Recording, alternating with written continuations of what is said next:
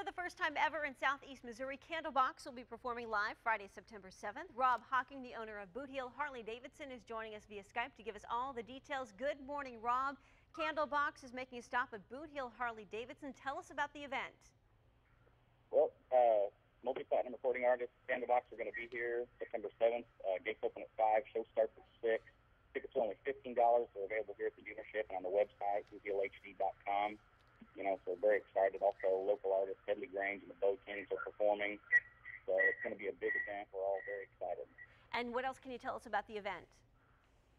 Well, if you buy your tickets before September 1st, you also get a free parking pass. There's only a couple of days left to do this, so get online, get your tickets as fast as you can. All right, Rob Hocking, thank you so much. Here's what you need to do. Visit bootheelhd.com for more information on where and when to buy the tickets.